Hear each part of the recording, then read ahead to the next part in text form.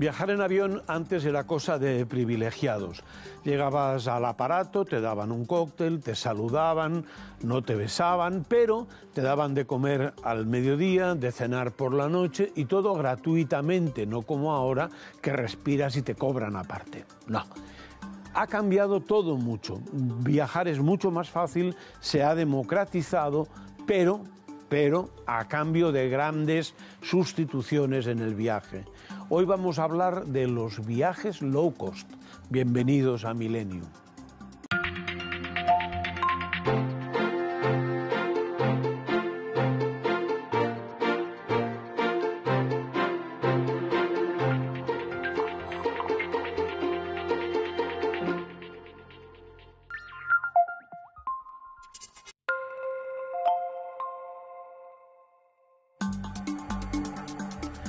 Parece que hablar de low cost sea hablar simplemente de placer, del placer de viajar, pero no, es mucho más, sobre todo porque influye en el campo económico, en el campo industrial, también en el campo de la sociedad. Eh, todo tiene repercusiones y no es únicamente poder ir un fin de semana a un sitio. Y también crea otras cuestiones que son interesantes. Las compañías aéreas eh, dicen que tienen vuelos desde 19 euros y cuando uno va a la web de la compañía aérea nunca ve ese vuelo de 19 euros. Yo creo que es interesante y a mí me gustaría que en el programa de hoy hablásemos de las condiciones de las compañías aéreas, de los hoteles, de todo eso que va ligado a las ofertas económicas, pero que veamos también su repercusión social. Tenemos aquí con nosotros, en primer lugar, a Jordi Porcel, bienvenido. Gracias. Con 30 años de experiencia en el sector de la aviación, ha ejercido diferentes cargos de dirección en grandes compañías, tanto tradicionales como de bajo coste. Ha sido directivo en British Airways, en Etihad Airways, ¿se dice así? Sí. Eh, la Aerolínea Nacional de Emiratos Árabes Unidos y en las compañías low cost Air Arabia y Vueling, donde fue director de ventas. Mm, hablamos, quisiera decirles algo para que tengan una referencia. Queríamos hacer este programa desde hace tiempo y lo que más se nos complicaba era que no encontrábamos a nadie que quisiera hablar de su experiencia como compañía aérea. Por tanto, le agradecemos a Jordi eh, Porcel su presencia, porque gracias a su estancia aquí hemos desbloqueado también la del resto de invitados y podemos hacer el programa. ¿Dónde está el truco? ¿Por qué para unas compañías cuesta tanto volar a cualquier sitio y para otras es tan barato? Eh, sinceramente no creo que haya ningún truco. Eh, como, en, como en muchas industrias, como muchos negocios, en este concretamente de lo que hablamos es de, de que las compañías sean capaces de tener un nivel de costes lo más bajo posible. Y a partir de ahí, el objetivo no es tener precios, no es ofrecer precios baratos, es tener una rentabilidad. Sí, pero si eres capaz de tener precios baratos, de tener precios bajos, eres más competitivo, por tanto, es más fácil em, eh, tener esa rentabilidad que buscan las, las compañías aéreas. Pero, eh, repito, no creo que sea algo que esté... ¿Son todas igual de seguras?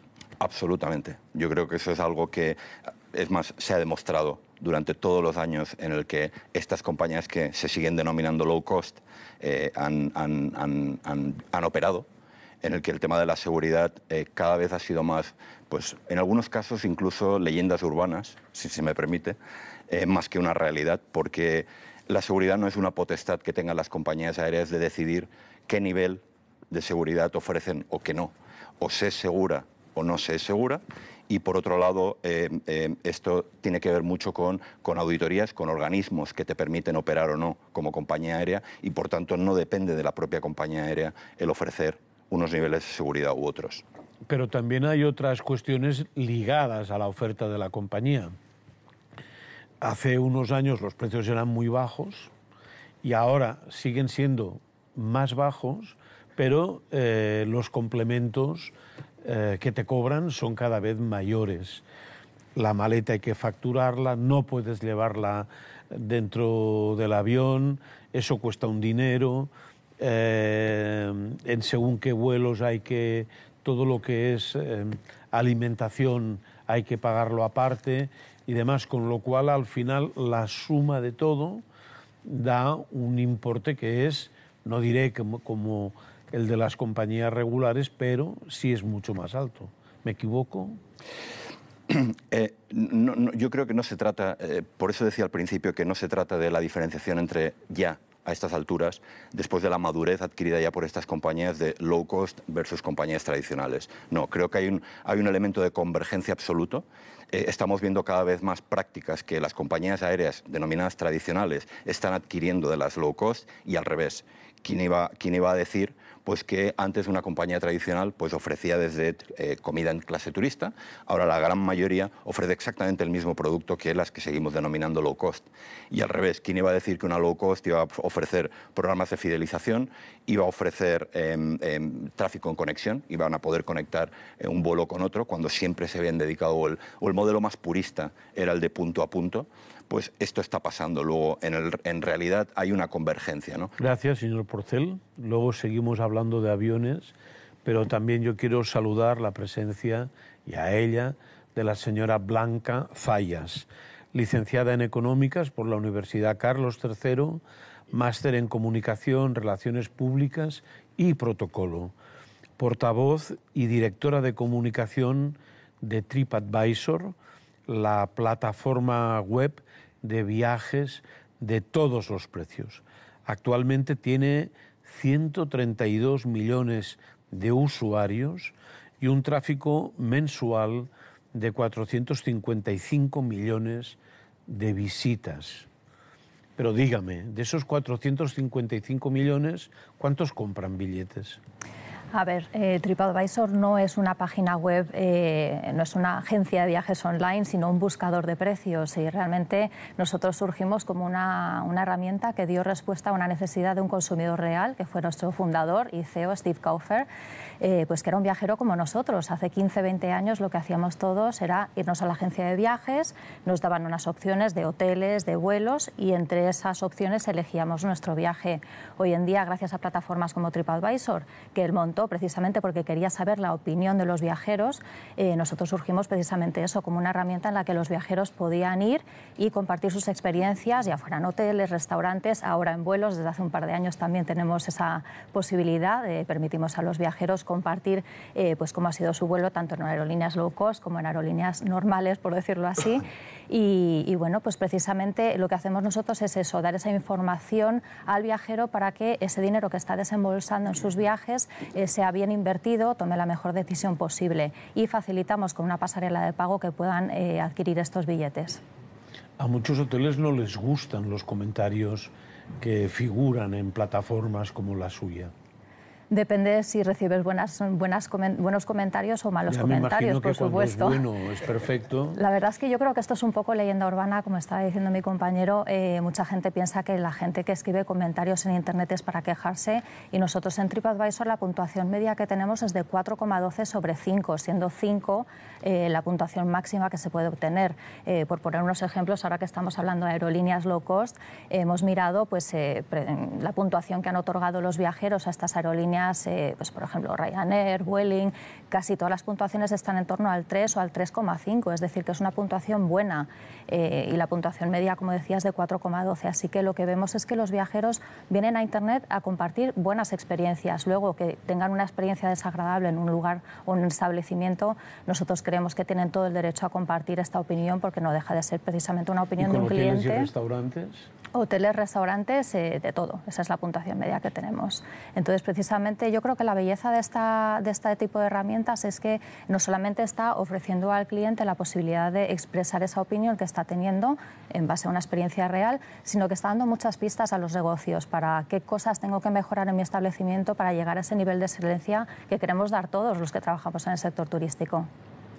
Muchas gracias, señora Zayas. Gracias a Seguiremos hablando es el turno ahora del señor Rubén Sánchez. periodista, bien, gracias, periodista, activista y vicepresidente de FACUA, una de las principales ONGs de la Unión Europea dedicada a la defensa de los consumidores. Es autor del libro Timocracia, que se puede descargar de forma gratuita en www.timocracia.com y que sobreimpresionamos en pantalla. Eh, es verdad que Facua, el nombre que he intentado, nació en Andalucía. Efectivamente, sí, en los años 80 y era Federación de Asociaciones de Consumidores y Usuarios de Andalucía, que acababa uno sin respiración cuando, cuando hacíamos entrevistas y contábamos qué significaban las siglas. Bueno, hoy las seguimos utilizando, pero desde hace ya bastante tiempo, desde 2003, somos una organización de ámbito nacional. El fenómeno del turismo low cost, de los viajes low cost, sea en avión, sea en tren, ahora incluso, y hoteles y restaurantes, ¿el resultado es tan barato como parece?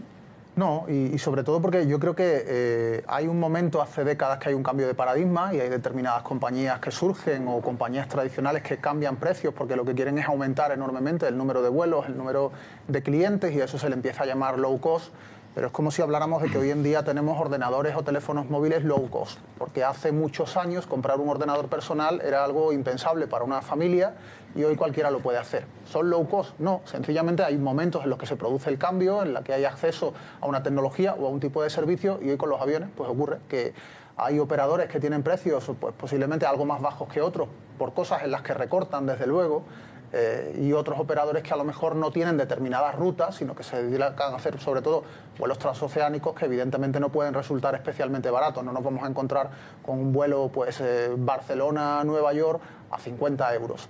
Pero el gran problema que tiene el sector, y ya me da igual que lo llamemos low cost o que lo llamemos sector aéreo, el gran problema es de un recorte importante en cuanto a las prestaciones, lo comentabas antes. Antes llevar la maleta iba implícito en el vuelo, ahora hay que pagarlo aparte. Eh, nos quieren cobrar por muchas más cosas, nos quieren casi cobrar por ir al baño. Alguna, alguna vez lo ha dicho el máximo responsable de Ryanair, medio en serio, medio en broma. Quizás era un globo sonda. Y luego también hay carencias importantes en cuanto a cumplir obligaciones, cumplir obligaciones de, de hora. Yo pocas veces que cojo un vuelo salgo en hora, no digo salir en punto, pero es muy habitual tener 30 minutos, una hora de retraso y también es muy habitual tener muchísimas horas de retraso y que no haya la compensación que fija la normativa, que nos dejen tirados en el aeropuerto, que no nos paguen un hotel la noche de espera, que estamos en una ciudad que no es la nuestra, que no nos paguen ni la comida o que nos den un triste sándwich no queriendo invertirlo lo que teóricamente la normativa comunitaria plantea. Por tanto, el gran problema para nosotros en estos momentos del sector aéreo es la falta de calidad en cuanto a la atención al cliente cuando se produce algún tipo de problema y luego la falta de control de las administraciones, que es absolutamente lamentable. ¿Y en los hoteles? Bueno, pues en los hoteles quizás no es un sector tan polémico, por suerte, donde hay un nivel de competencia interesante, no es el mismo nivel de competencia que tenemos en el sector aéreo. Yo para volar de Sevilla a Barcelona, pues puede que habitualmente tenga dos opciones, dos compañías, y a veces solamente una en función del horario coger un hotel en Sevilla, en Madrid, donde sea, tengo multitud de ellos, con lo cual sí hay una competencia mucho más real y por tanto si hay problemas en el hotel el cliente al final va a provocar con el boca a boca y con el uso de determinadas plataformas web, hablando mal de la experiencia, pues puede provocar cambios a mejor porque lo asuman o sencillamente que ese hotel se hunda por el maltrato al cliente.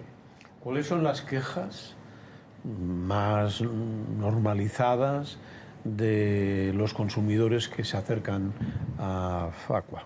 Pues fundamentalmente eh, en el ámbito aéreo, eh, tener un vuelo que tarda tres horas en despegar, cuatro o cinco, que hay cancelación y sale al día siguiente y que la compañía se desentienda absolutamente de todo. Es decir, que nos diga, te cubro el billete del vuelo al día siguiente, pero no te pago el hotel, no te pago la comida, incluso no te pago el vuelo de conexión que has perdido, porque muchas veces se trataba de un vuelo inicial para un viaje uniendo dos o más eh, eh, vuelos. Y ese es el problema más habitual, más frecuente que nos encontramos como las compañías primero saben que el cliente nos reclama, muy poca gente sabe, por ejemplo, que cuando tienes 3-4 horas de, retraso o una cancelación, puedes pedir una compensación económica directa de entre 250 y 600 euros, porque lo dice la normativa, salvo que sea una causa de fuerza mayor, ¿no? la que impide el despegue a tiempo, y pocos consumidores reclaman, por tanto, y a pocos consumidores de los que reclaman le dan la respuesta en positivo las compañías. Habitualmente les dicen que no. Se inventan incluso en ocasiones que el motivo del no despegue no era la avería del avión que conocían, sino que ese día había una tormenta brutal que impidió despegar y a lo mejor se lo, se lo sueltan al usuario cuando la tormenta nunca existió. Gracias. El señor Joan Francesc Valls, hola, bienvenido. ¿Qué tal? Es catedrático del Departamento de Marketing de SADE y creador del Centro de Dirección Turística en la misma Escuela de Negocios. Lleva más de 20 años vinculado al marketing y al turismo como profesor, investigador, escritor, consultor. Ha publicado diversos libros sobre el modelo low cost de negocio como este, publicado por Deusto, el fenómeno low cost, el impacto del factor precio. Todo esto de bajo coste, eh, ya no nos quitaremos la expresión en inglés como si no existiese en español. Sí. Eh, en, castellano no tenemos eh, una, un, vocablo o un par de vocablos que puedan denominar lo mismo. Lo que pasa es que mmm, aquí se ha producido un juego de espejos. Eh, cuando usted decía antes, eh, el, precio del ticket, más eh, la comida que pagas aparte, más, más, más, esto prácticamente te hace más caro el precio final. Yo distingo dos cosas. Una primera, el movimiento que arranca en 1997 en Europa, cuando se produce la liberalización aérea.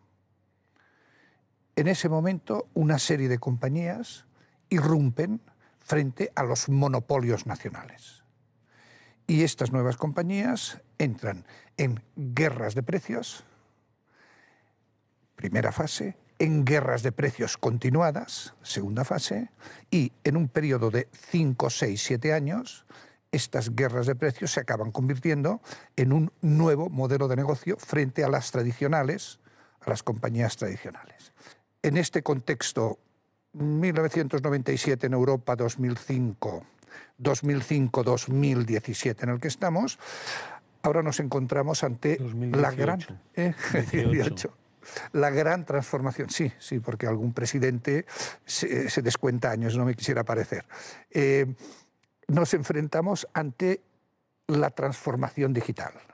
Y aquí es donde yo me, no me pierdo, pero pienso que estamos ante un cambio muy superior al que hemos tenido en estos 15 o 20 años de fenómeno low cost.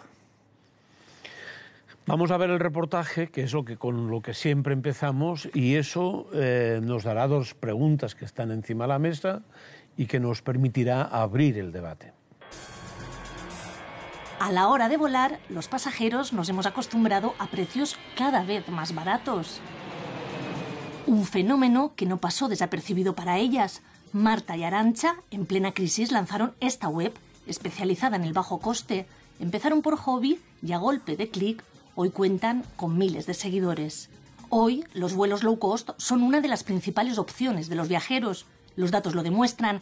En 2017, las aerolíneas con precios de ganga ocuparon más del 50% del mercado en España. Ellos lo que han hecho ha sido recortar servicios que consideran extras eh, y venderte únicamente el servicio del producto básico. Eso es el low cost. Si tú lo que quieres es viajar de Barcelona a Dublín, vas a viajar de Barcelona a Dublín. Si luego tú quieres que en el avión te pongan música, te den una mantita, te pongan el catering, etcétera, todo eso lo vas a tener que pagar. Depende del nivel de confort al que se esté dispuesto a renunciar, el precio de un billete de avión cambia mucho. Y si hasta ahora las compañías de bajo coste volaban principalmente rutas de corta y media distancia, en nuestro país 2018 es el año de los vuelos baratos al otro lado del charco.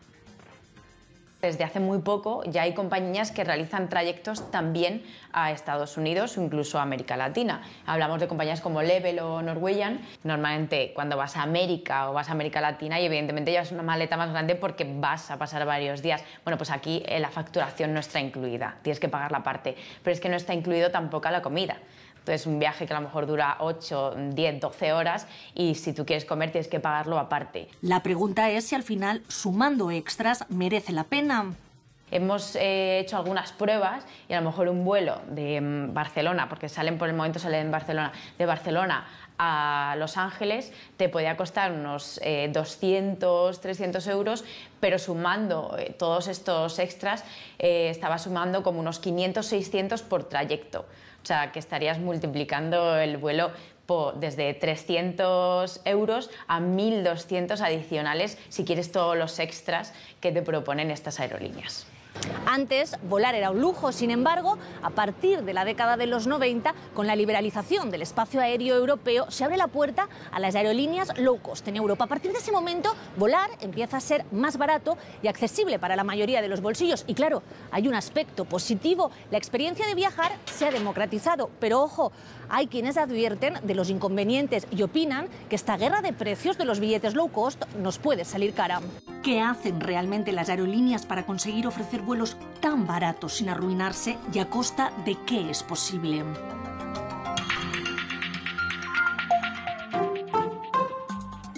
Decía nuestra compañera en el reportaje, Pepa, que eh, nos puede salir caro. ¿Están ustedes de acuerdo?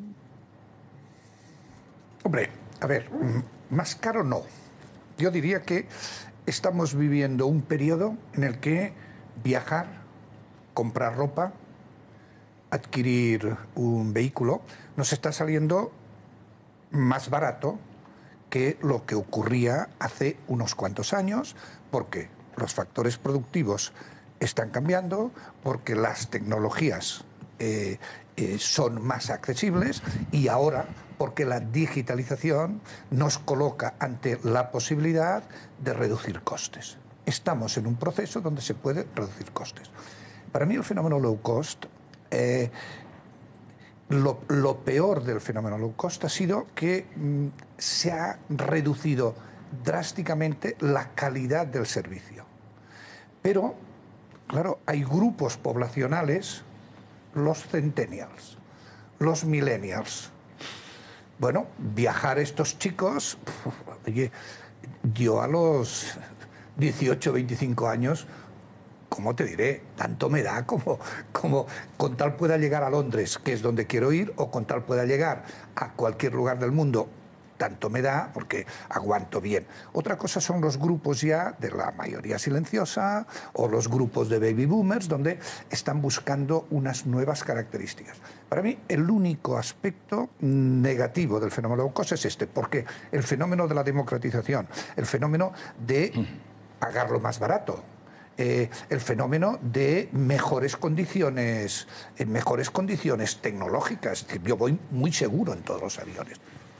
Yo creo que hay, algunas cuestiones que, también pueden provocar que lo acabemos pagando caro eh, a distintos niveles. Uno de ellos es la capacidad de presión del lobby de las compañías aéreas sobre las decisiones que se toman en Bruselas, porque al final la regulación que tenemos es comunitaria. En España no hay nada que no sea lo dictado por, la Comisión Europea y realmente vemos cómo se está intentando recortar derechos, se está intentando que no se avance en mejora de derechos, pero también se está buscando cómo reducir, por ejemplo, la capacidad que tiene un usuario a nivel legal de reclamar que si se queda atrapado en un aeropuerto, unos días en los que las nevadas impiden que despeguen los vuelos, y ahí se asume que no es por culpa de las compañías, que no hay que exigirles la compensación económica directa porque no son ellas las que han hecho las cosas mal, pero sí hay una obligación de asistencia que dice la ley y para eso existen compañías de seguros que deben contratar las aerolíneas para situaciones como esta y tienen que garantizar, por tanto, que ese usuario, en lugar de tener que dormir en el aeropuerto, como ocurre habitualmente, por falta de desconocimiento de derechos y por falta de control, pues que ese usuario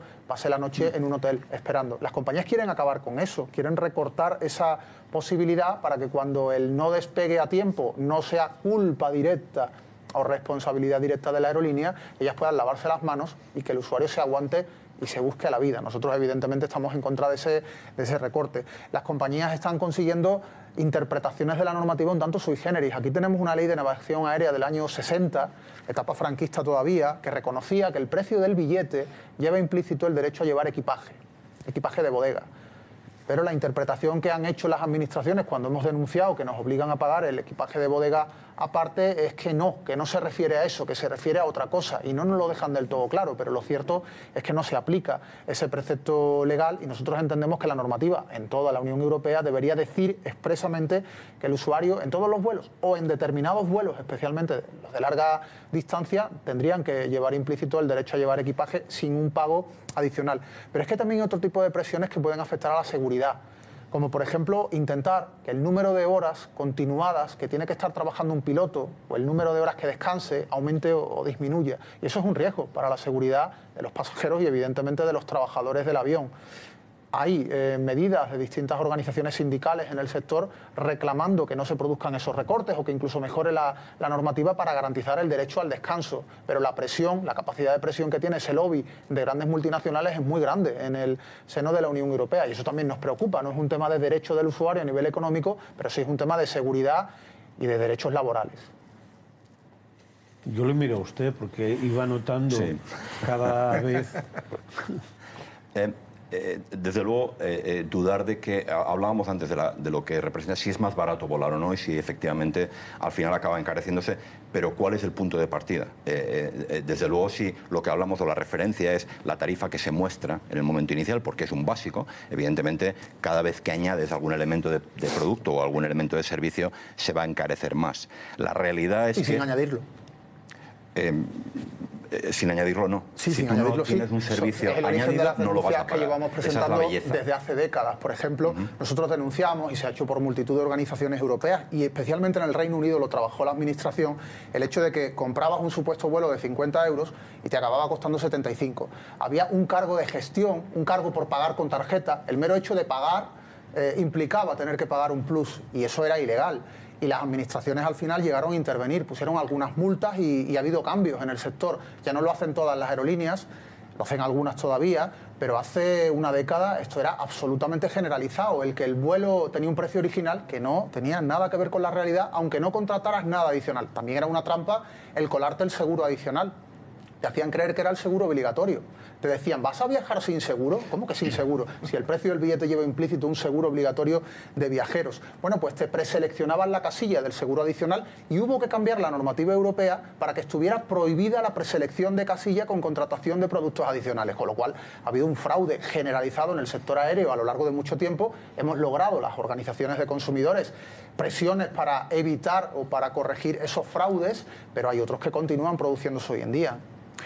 Eh, yo creo que estaremos de acuerdo en que ha habido una evolución clara durante todos estos, eh, todos estos años. A fuerza de palos y denuncias de, los consumidores, por desgracia. Es, es, su valoración. Pero la realidad es que efectivamente seguimos hablando de fenómeno low cost cuando no es ningún fenómeno reciente. Esto lleva muchos años. Eso lleva implícito, lleva implícito que ha habido una evolución. Las leyes, tú mismo comentabas hace un momento que estábamos hablando de leyes de los años 60. Efectivamente, en ese momento ni existe el concepto low cost ni se sabe lo que iba a ser, eh, lo que iba a venir posteriormente. Por tanto, esa evolución es más que lógica y tiene que pasar.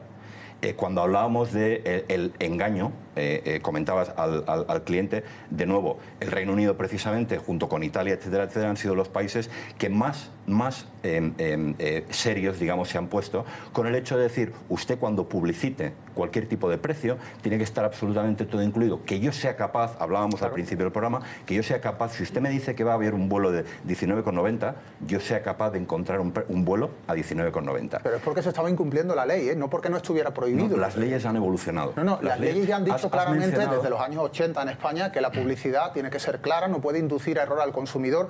Y yo creo que venderte algo a 50 y que luego en realidad cueste 75 es inducir a error, no, es engañar claramente. Por tanto, se vulneraba la ley. El problema es que no se cumplía y tanto organizaciones como Facua y otras muchas en Europa, como algunas administraciones, demasiado pocas, y entre ellas, como decíamos, el gobierno británico han tomado medidas, han amenazado con multas, han impuesto algunas sanciones que han provocado que se incumpla la ley menos. No que las compañías hayan sido tan buenas que ahora sean más transparentes, es que dejen de incumplir la legislación a un nivel tan alto como el de antes en el fenómeno de la comercialización, de la publicidad, de la presentación de un precio que era radicalmente falso. Aquí, ha, ocurrido, aquí ha ocurrido un tema... termine. En todo caso, de nuevo, es una valoración más que respetable de, de por qué se hace esa transparencia. Esa transparencia ha existido. El único problema, repito, es contra qué y con, qué lo estábamos, lo estábamos eh, comparando. has mencionado antes el hecho de que un cliente, un pasajero, eh, tiene una cobertura que efectivamente está legislada actualmente de qué derechos tiene en caso de que tenga una irrupción, tenga un, incidente eh, su vuelo, el que has mencionado. Hay un punto de inflexión, si recordarás, en los últimos años, cuando el volcán en Europa que produce un bloqueo prácticamente absoluto de, toda Europa. Hasta ese momento la ley decía tenía una limitación en cuanto a las obligaciones de las compañías aéreas a prestar los servicios por por algo que efectivamente tú también has dicho muy bien, no era culpa de la compañía aérea, pero debíamos, como compañías, facilitar desde, em, em, em, desde alimentos, evidentemente, alojamiento, en caso de que fuera necesario, llamadas de teléfono, etcétera, etcétera.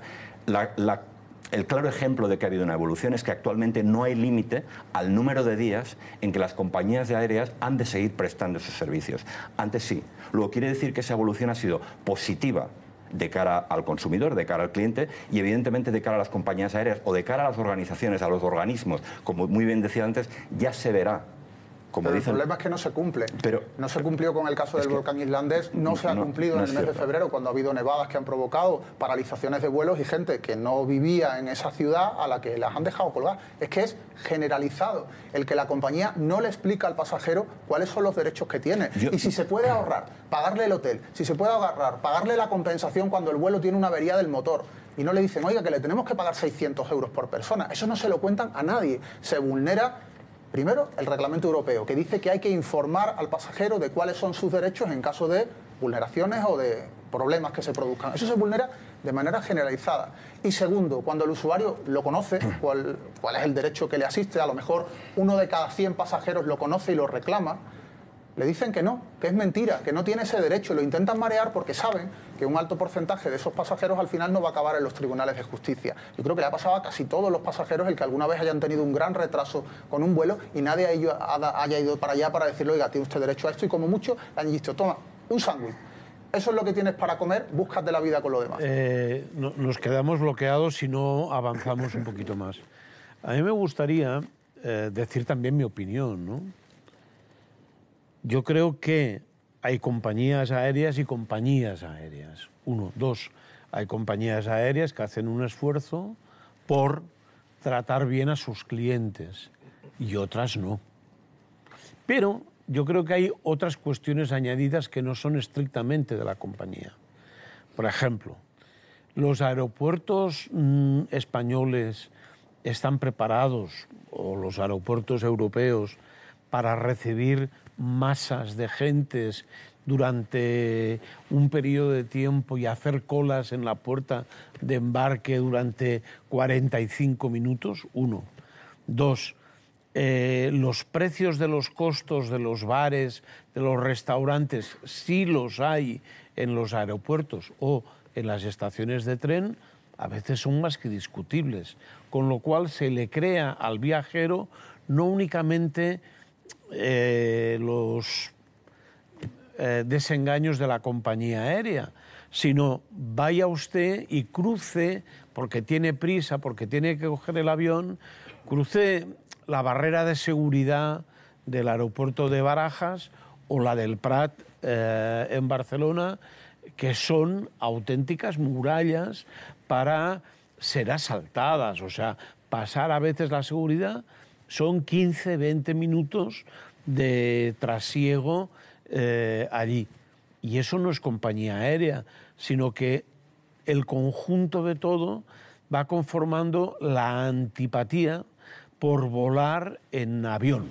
Y lo pagamos, ¿eh? Y lo pagamos. El precio del billete están las tasas aeroportuarias, que deberían cubrir el que nos den una buena atención, un buen servicio, que no tengamos que estar una hora esperando en la cola. Y es responsabilidad clara de, de AENA en el caso de España, donde ocurren cosas tan curiosas como que una vez que pasamos ya la zona de embarque, no podemos presentar una reclamación porque eso se hace antes. Pero claro, yo el problema no me lo encuentro antes. Yo cuando llego en mi coche estoy tan a gusto. El problema me lo encuentro sobre la marcha y después no puedo presentar una, una reclamación. Y luego también, evidentemente, el hecho de que haya esos colapsos que son responsabilidad de AENA, también del ministerio competente que ha provocado con determinados cambios una serie de situaciones, pues la verdad que lamentables deberían dar que pensar ¿no? sobre cómo hay que mejorar no solamente a las compañías, sino la propia empresa pública, en este caso, que gestiona los aeropuertos. Antes del low cost, eh, se viajaba mejor o mucho mejor. Los pocos que viajaban, viajaban mejor o mucho mejor. Ahora con el low cost viajamos peor, pero ha permitido que muchísima más gente esté en este mercado. Y quiero añadir un segundo aspecto, y es el concepto de volatilidad del precio. Cuando antes eh, decía el presentador, un ticket, si le sumas lo que el, el resto de servicios, puede acabar siendo un precio muy superior al de una compañía tradicional. Claro, ¿qué ocurre? Que el concepto de precio depende en el momento en que lo compres. Si tú lo compras 90 días antes, vas a tener un tipo de precio distinto que si lo compras 45 días antes, que si lo compras 15 días antes, que si lo compras en el momento de autos. Pero este concepto de volatilidad del precio se complica en estos momentos, en el 18, no en el 17, eh, se complica por otro aspecto que hay que tener muy presente. Y es eh, un ticket aéreo eh, adquirido en cualquiera de estos momentos, puesto en circulación a través de un canal determinado, a través de otro canal determinado, te presenta no una disparidad de precios, sino un mismo precio al que te empiezas a ir acostumbrando en cada uno de los casos. Por lo tanto, nos encontramos con que eh, a punto de entrar en el fenómeno de la digitalización, donde todo esto va a cambiar de forma radical, es decir, hasta ahora el low cost nace en un momento de expansión económica. Ocurrió en el 78, cuando se implantan los primeros modelos low cost en Estados Unidos, gracias al nacimiento de las compañías low cost primeras, y se implanta liberalización aérea norteamericana, y se implanta a finales del siglo pasado con la liberalización aérea europea. Muy bien, eh, ahora ya no estamos en épocas expansivas económicas. El low cost puede funcionar muy bien cuando hay más demanda que oferta, entonces puedes jugar con precios, el revenue management te permite ir modulando, en este momento vamos a excitar la demanda con precios más baratitos para cuando eh, se enganche la demanda en un momento determinado, vamos a subirlos. Ahora estamos en un mercado donde oferta y demanda eh, yo creo que hay mayor presión de la oferta sobre la demanda y que hay menos demanda que oferta. Por lo tanto, nos vamos a encontrar que habrá que empezar a revisar este modelo low cost de éxito, que ha sido de éxito, ante un escenario digital.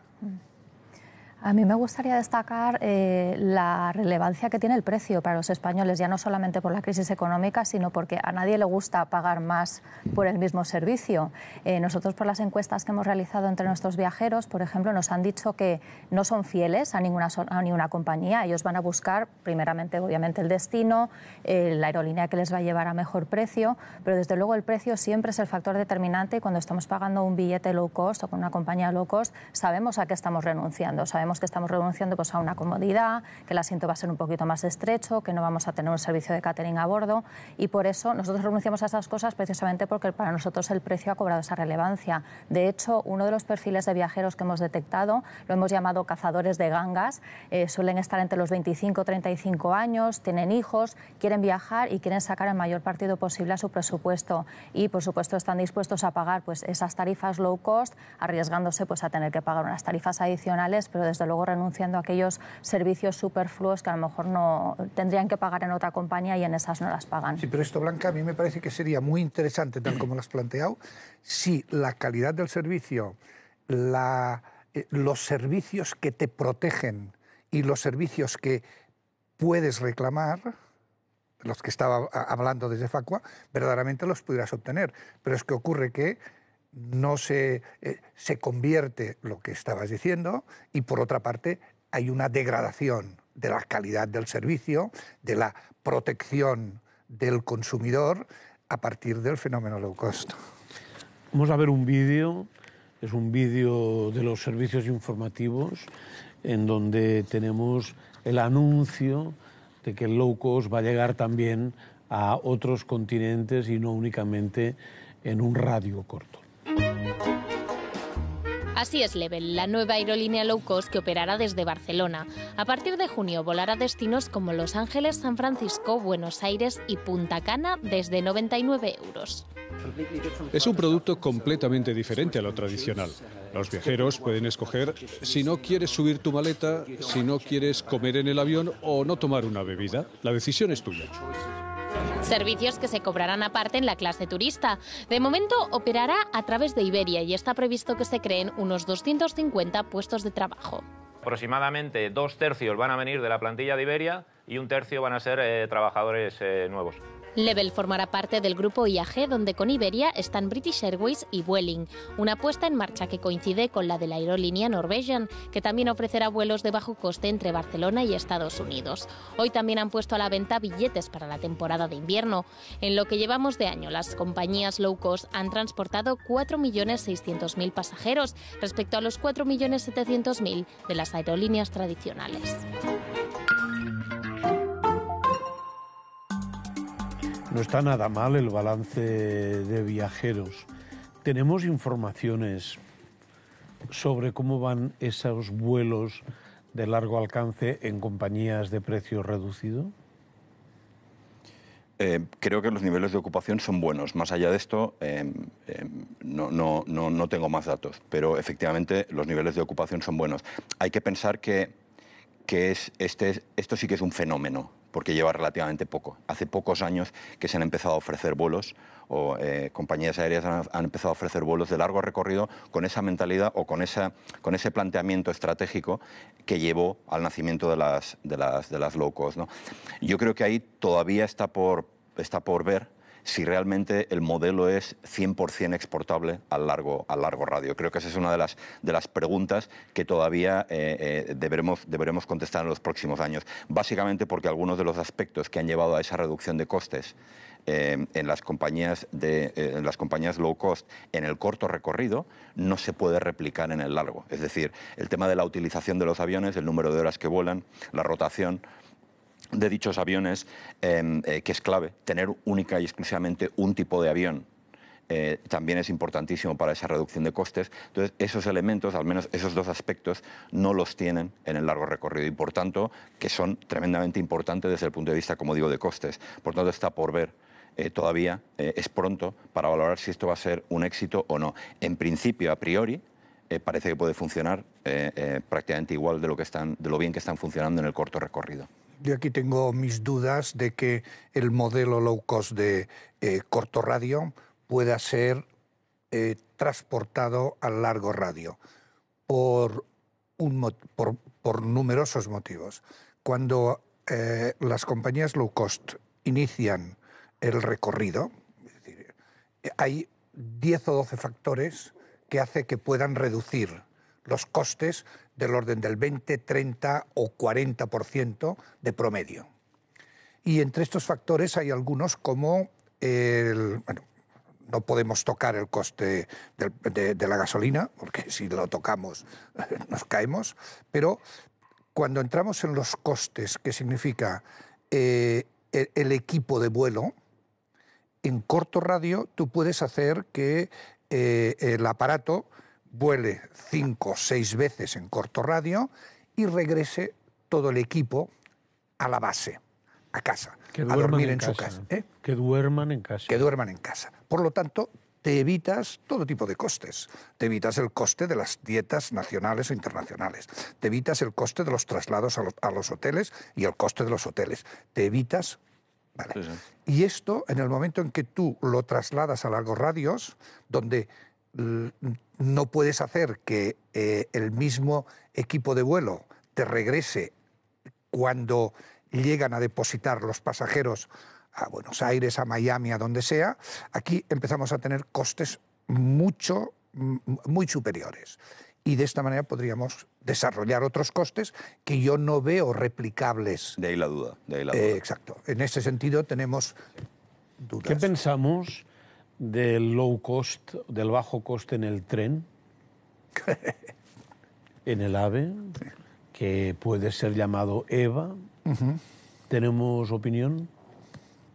Yo tengo una opinión muy clara, es decir, primero le han, quitado, le han cambiado las letras, lo cual a mí me da una cierta inseguridad.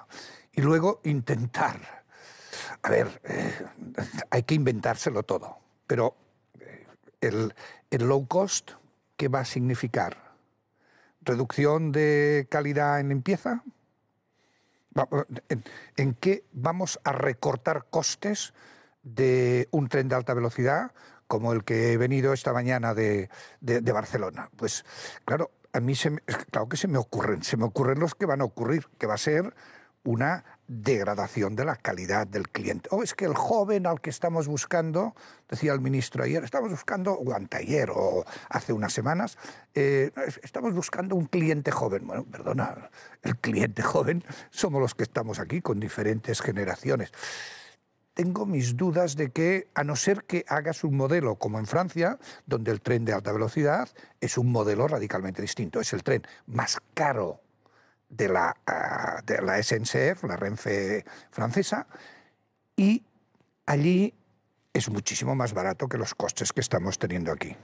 El problema es cuando lo que se busca realmente a cambio de un abaratamiento de precio es gente dispuesta a renunciar a derechos básicos. Porque si me planteas que en ese EVA, en lugar de AVE, no me vas a poner película, no voy a tener cargadores en las sillas, no me vas a dar el caramelito, que ya no lo dan en el AVE, pero antiguamente te daban un caramelito, posiblemente eso, los miles de caramelitos que a lo largo del año se dejan de dar son muchos euros, ¿no? Pues bueno, eh, a lo mejor ahí podemos decir, venga, lo asumo, pero cuando hay otro tipo de recortes que implican que llegue una hora tarde porque no me cumplen el plazo previsto y ya no me devuelven el dinero, como si me lo devuelven ahora en el modelo AVE, que incluso podría cambiar el protocolo de autorregulación y, eliminarlo, cuando ya se trata de cosas que pueden empezar a ser graves, a pérdidas de derechos fundamentales, es cuando me están tomando el pelo y me están vendiendo algo que no es lo que me dicen, no es abaratar porque buscamos un perfil de público joven, ¿qué más da que sea joven o que tenga 80 años? Lo que quiere es viajar y viajar a un precio relativamente razonable. Partamos de que el AVE es caro eh, no sé si es porque tiene que ser caro o porque se pasan un poco en los márgenes.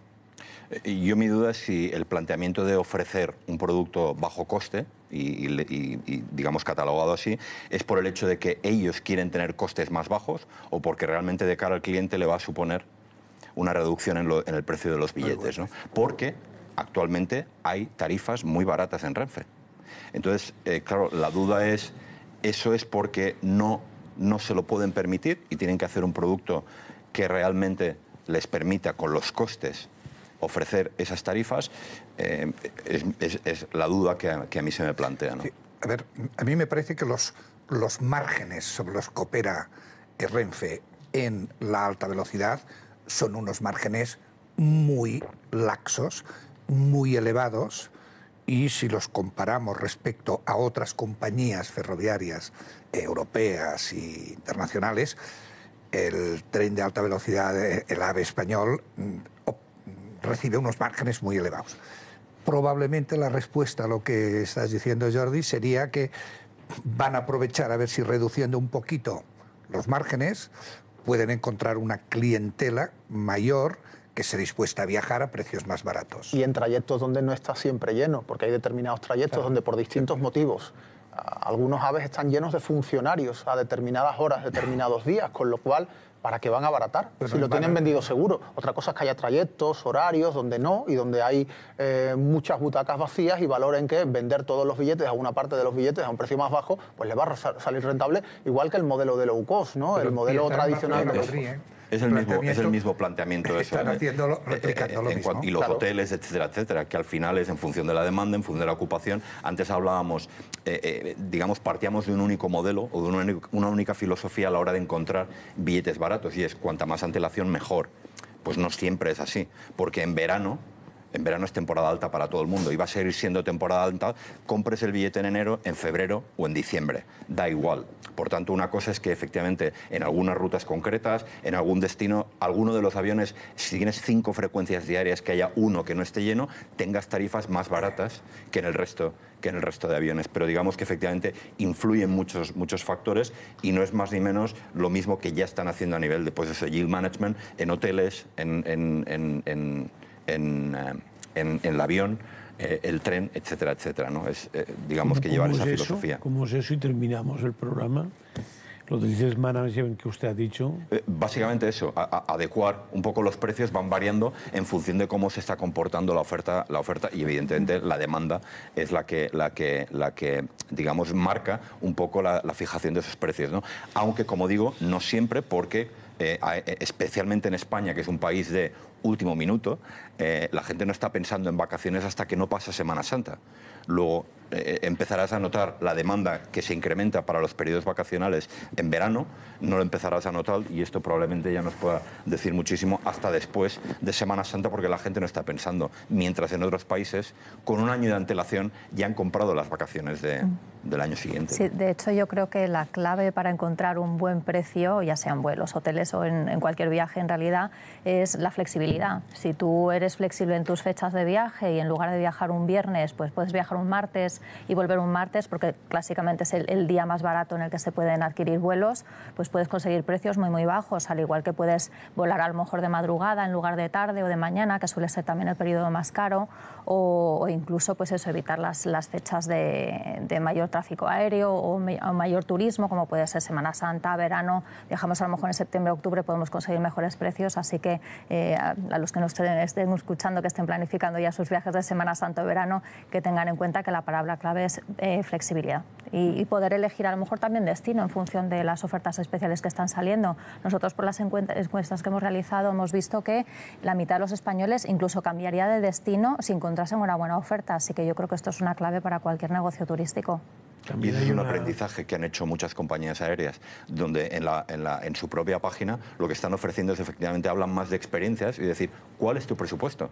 y a partir de aquí, en lugar de decir, no, no, yo quiero ir a Sevilla, yo quiero ir a Londres, perfecto, estas son las tarifas, ¿cuál es tu presupuesto? Y te diseñamos efectivamente algo que se adapte a ese presupuesto. Pero estoy de acuerdo, pero también es deseable que alguien, un ciudadano, entre en una web o donde sea y sepa cuál es el precio del viaje Madrid-Barcelona en un AVE, porque yo no lo sé. No, es que no existe hay una volatilidad absoluta sobre el concepto precio. Depende si es, eh, como decía la representante de TripAdvisor, si es el martes o es el viernes.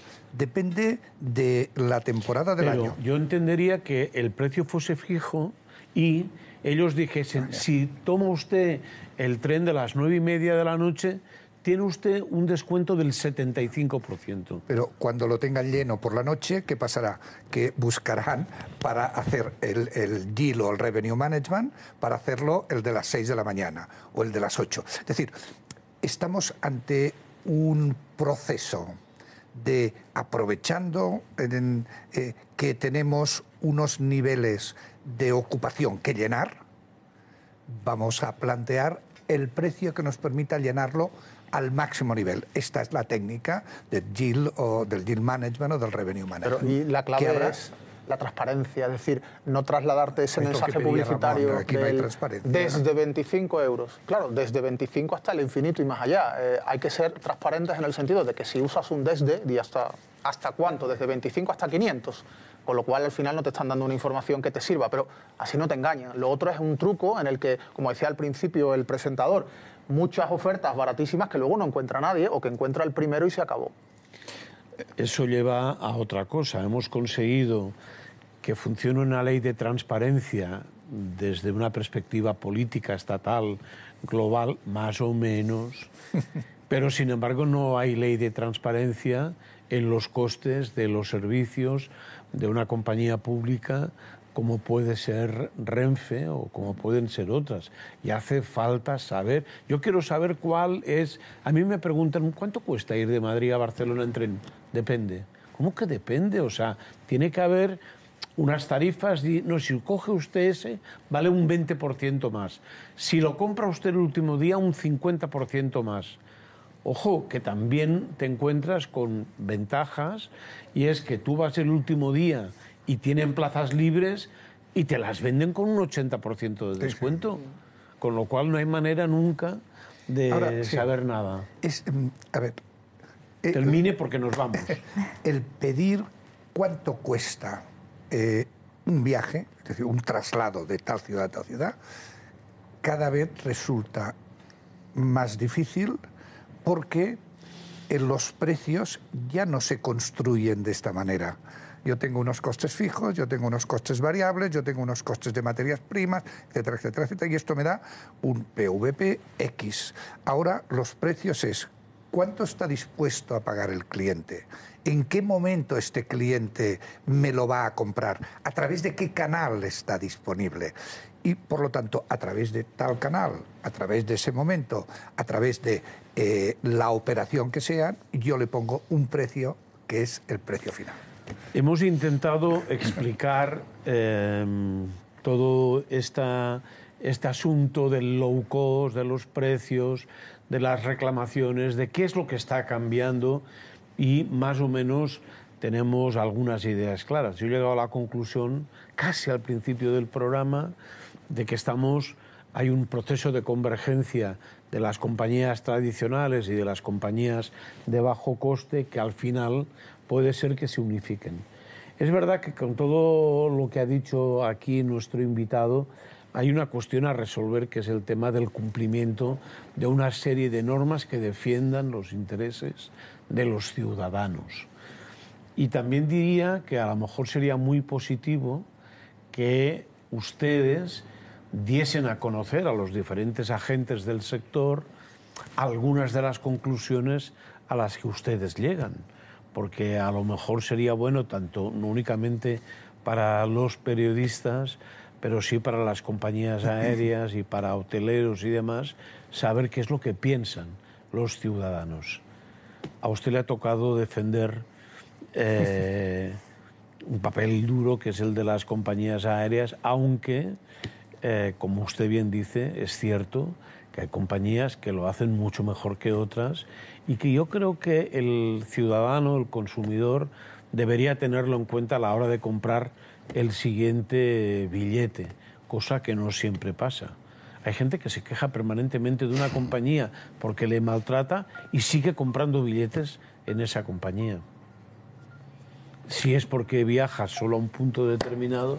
Eh, iba, iba, a decir exactamente eso, que hay veces que como, como, como, como usuario en este caso, o como cliente, pues por alguna circunstancia nos encontramos, somos cautivos de según qué productos y de según qué servicios, ¿no? Y por tanto, pues puede ser. Gracias a los cuatro, gracias a ustedes por acompañarnos y les esperamos la próxima semana, la próxima edición de Millennium. Gracias.